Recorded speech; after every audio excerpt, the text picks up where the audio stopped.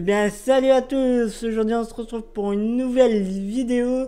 Aujourd'hui, on va se retrouver pour une vidéo, tout simplement. Moi, personnellement, je m'étais posé la question s'il était possible d'avoir euh, Messenger, WhatsApp ou plein d'autres applications comme Viber, vraiment plein d'autres, des applications qu'on peut retrouver tout simplement sur Android.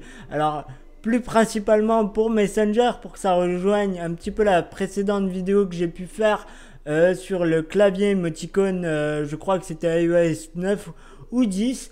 Euh, c'est juste pour rejoindre les deux et puis ça va être vachement cool pour moi, je vais pouvoir être plus actif. Donc oui, il est, possible, il est possible d'avoir Messenger sur votre ordinateur Windows 10. Alors tout simplement, ça va être vraiment tout con, mais c'est avec le Microsoft Store.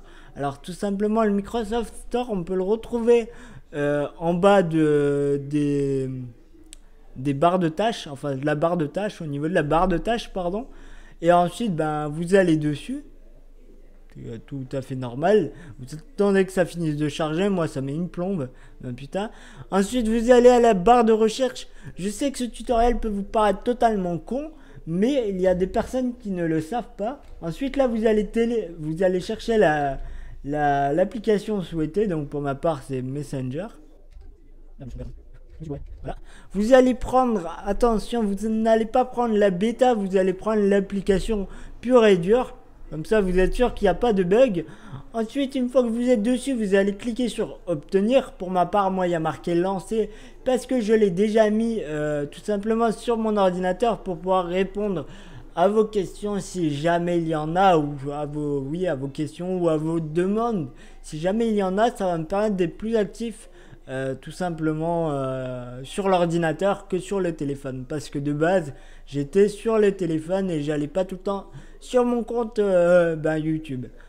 Alors là, je vais lancer l'application pour que vous puissiez voir à quoi ça ressemble. Bon, ça reste Messenger, tout à fait normal, hein, comme le Messenger qu'on connaît sur le téléphone.